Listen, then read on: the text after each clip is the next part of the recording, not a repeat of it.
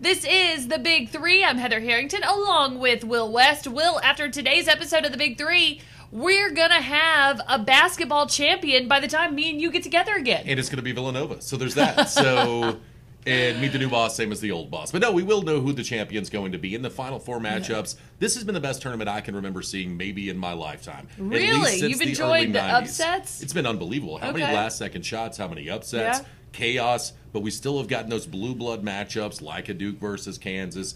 They've been it's been fantastic to watch, I think, right now. So for me, this tournament has been unreal.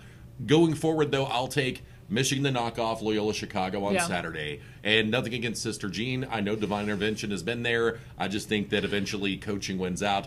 Not that Moser's not a good coach, but John Beilein's the best tournament coach we have in basketball. On the other side, give me Villanova against Kansas. Kansas needs to get to go a certain way for them to win. Villanova will beat you any way that you want to play, and I think that they also get to the free throw line Yeah. and hit their free throws. Free throws have been one of the biggest factors of why we've seen some of these upsets we've seen this uh, tournament. Okay, I'm going to agree with you on the left side of the bracket. I do think Michigan takes care of Loyola, so you should be very nervous because I haven't Yeah. gotten anything death. right. Yeah, I have nothing right headed into the final If we're four. both saying this, on that uh, left side. Now, on the right side, the thing that scares me, even though I have Kansas uh, becoming the national champion, what scares me about Villanova is now they have found a way to win without the three ball. That was something that plagued them early on in the season. When they would shoot under 20% from beyond the arc, they couldn't win a game. Yeah. They even lost to St. John's, who was three games below 500 at the time. So now they figured that out. I do think you are right, and they probably are your champions.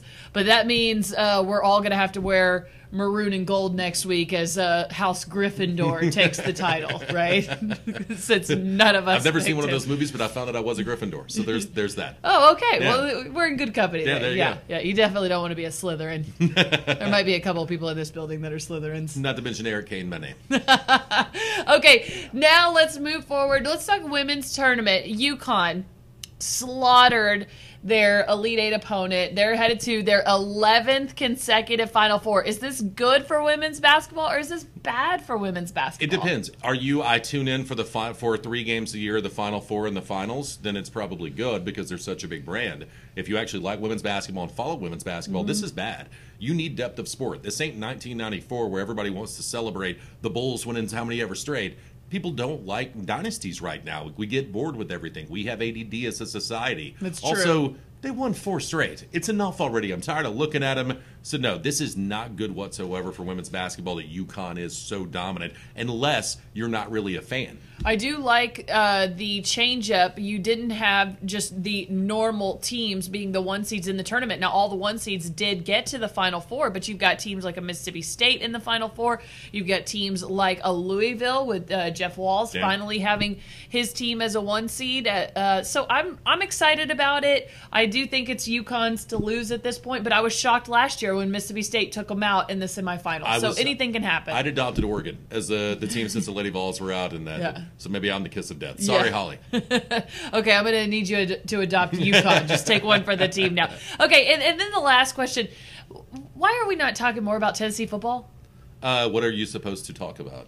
You don't have your quarterback battle yet. Yeah. You don't know who the warm bodies that are going to be out there necessarily are and what they're doing right now because we don't see anything of practice. I like that there's going to be an actual spring game instead of let's do some kind of weird up, up, down, down, left, right, left, right, BA start stuff that Butch liked to do. Yeah. That's cool. But other than that, there's literally nothing that you can gain from this outside of who changed positions. We don't know how they're doing. I mean, if you want to believe everything that a coach that closes a lot of practice tells you and accept that as gospel truth, Yeah. yeah go right ahead. Because people usually hide things because they don't have something to hide. Yeah, R- Richard Nixon wasn't hiding No, no, anything, right? And I'm not saying Jeremy Yes. Pruitt's a bad guy No. for doing it. Everybody in sports Everybody does, does, that. it. They're all But paranoid. what but it means is you can There's Yeah. nothing to be gained right now. Yeah. Nothing to be learned with I- what's going on in, in practice. I think we still need to go at least another week. If we when we get to the halfway point, around eight practices in, which uh, six of those would have been in full pads. They probably already scrimmaged once or twice by then, even though that'll be closed. I think then you're going to see this coaching staff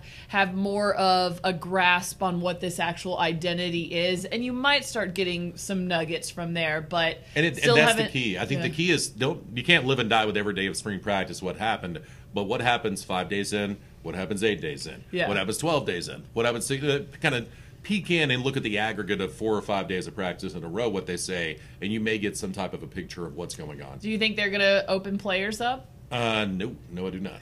Ugh, that could get a little I, boring. I think there, there will be times they will. It'll be very Saban esque. Yeah. There will be times they will, and you get a butt ton of access, and then other times you just don't get anything. just totally done. Yeah. Yeah. Good luck with that, Josh Ward. All right, that's going to wrap it up for us. We'll talk basketball championship next week on our episode of The Big Three.